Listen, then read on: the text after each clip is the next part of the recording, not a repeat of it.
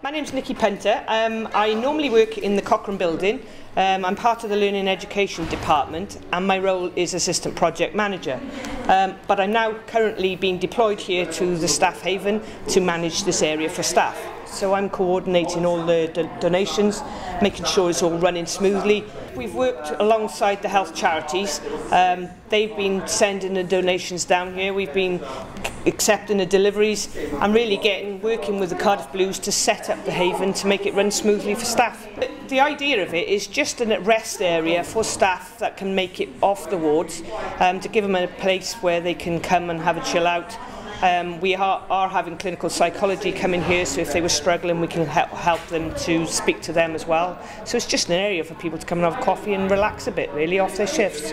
We've had a very positive feedback. Um, it's come from via different sources. We've had some emails come through say that the staff are really appreciating it. Oh, the donations have been fantastic. A young girl, actually, and her dad came this week with two carloads um, she put a request out on her Facebook page and filled her car, two cars and brought them in. Um, we've had pallet loads of Easter eggs, um, we've had water. Well, it's just tremendous, really, what we've had.